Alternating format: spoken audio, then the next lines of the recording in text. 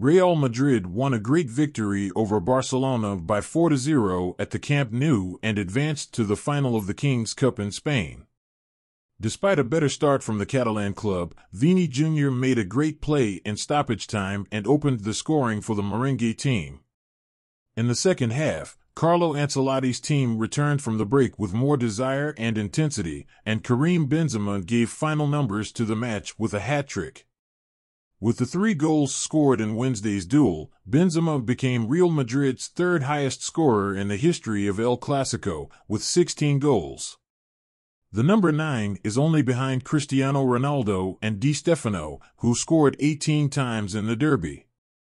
In a first half that was much more hard fought than played, marked by 15 fouls and 3 yellow cards, Real Madrid managed to go to the break with an advantage.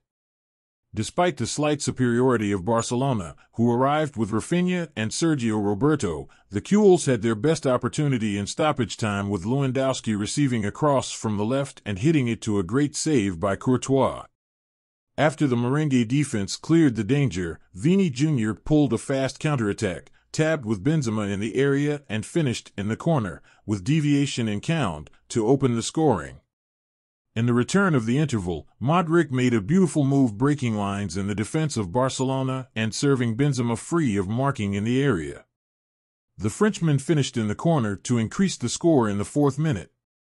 After a slight Barcelona pressure with shots by Balde, Raphinha, and Araujo, Vini Jr. suffered a penalty committed by Kessie and converted by the number 9 at 12 minutes and in another double of the duo at 34 minutes, the Brazilian pulled fast counterattack and gave beautiful assistance to Benzema to score his hat-trick in the match and define the duel.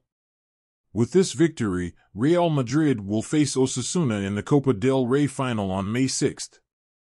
The duel will take place at the Estadio Olímpico de la Cartuja in Seville. While the Merengues are seeking their 20th title in the competition, Osasuna are dreaming of what could be the greatest trophy in their history.